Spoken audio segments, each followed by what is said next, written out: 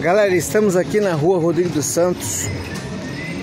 Deixamos ela para trás, um trecho de lá, e aqui nós estamos no trecho segundo. Aqui à direita o shopping K e o hotel Treven.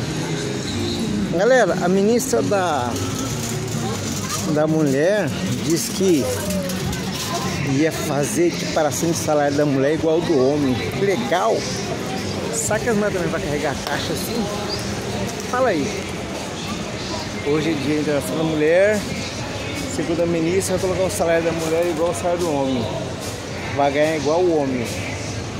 Mas será que ela vai carregar a caixa, fardo, que nem nós, homem, carrega? Duvido, duvido. Nada contra as mulheres, hein? Acho que a mulher merece ganhar bem também. Mas não tira o papel do homem, não. Homem é homem e é macho.